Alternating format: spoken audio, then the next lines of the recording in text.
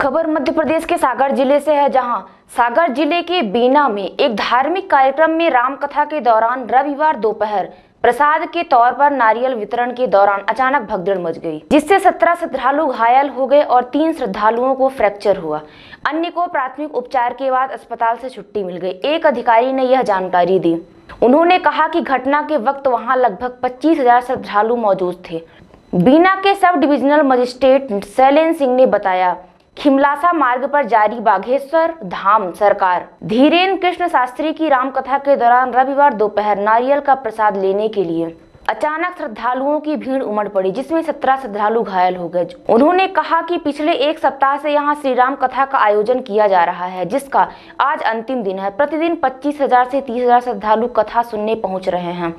सिंह ने बताया कि कथा आयोजन के समय जैसे ही नारियल वितरण कार्यक्रम शुरू हुआ तो उसी दौरान श्रद्धालुओं में नारियल लेने की होड़ लग गई और पंडाल में लगी रेलिंग कई श्रद्धालुओं के ऊपर गिर गई, जिससे सत्रह लोग घायल हो गए। उन्होंने कहा कि घायलों को तुरंत सिविल अस्पताल ले जाया गया। सिविल अस्पताल के चिकित्सक डॉक्टर वीरेंद्र सिंह ठाकुर ने बताया कि अस्पताल में शाम चार बजे तक करीब सत्रह घायल आ चुके थे, जिनमें से तीन के पैर की हड्डी टूट गई है। इन तीनों को भर्ती कर लिया गया और बाकी घायलों को देर शाम तक प्राथमिक उपचार के बाद अस्पताल से छुट्टी दे दी गई।